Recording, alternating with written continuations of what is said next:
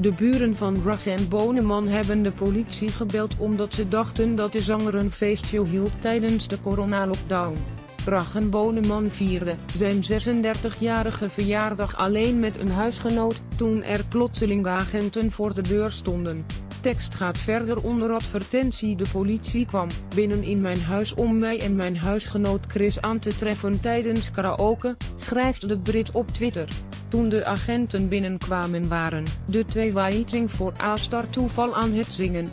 Omdat er tot diep in de nacht werd gezongen, dachten de buren dat er een feest gaande was.